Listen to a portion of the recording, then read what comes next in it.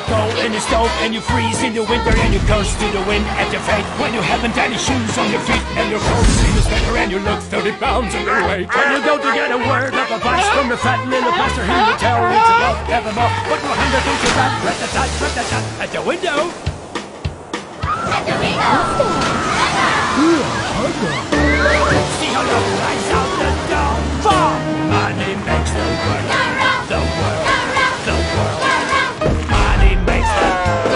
the clinking clanking sound